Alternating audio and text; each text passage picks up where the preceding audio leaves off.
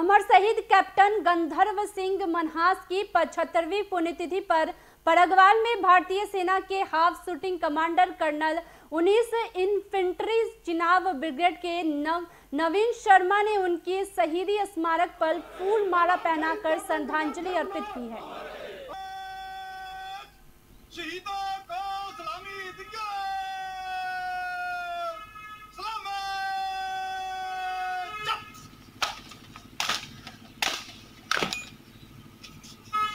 Colonel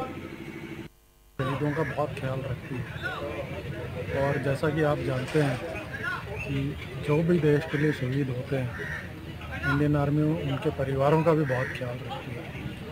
और ये सीख हमारे युवाओं को भी लेनी चाहिए और इन सबसे प्रेरित होकर उनको भी भारतीय सेना में ज्वाइन करना चाहिए, जो भी बॉर्डर एरिया के युवा हैं। और साथ में ही जो ज्वाइन नहीं कर सकते हैं किसी कारणवश उनको चाहिए कि वो भारतीय सेना की और सिक्योरिटी फोर्सेस की मदद करें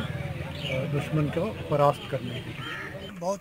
गर्व है चीज़ का कि हमारे इलाका फुटबॉल के जो अमर शहीद कैप्टन गदर सिंह मनाज थे, बहुत बहादुर और अच्छे थे, लायक थे। उन्होंने जो है डिम्बर सेक्टर में जाकर एक इकवालियों का कॉर्डन तोड़कर घेरे के,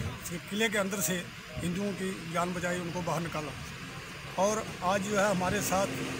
आप shooting commander colonel Naveen Sharma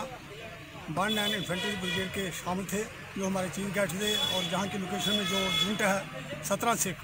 इनका जो सहयोग रहा हमारे साथ, बहुत अच्छा रहा और बहुत बढ़ चढ़ कर काम किया उन्होंने और सब लोग खुश हैं इन पर।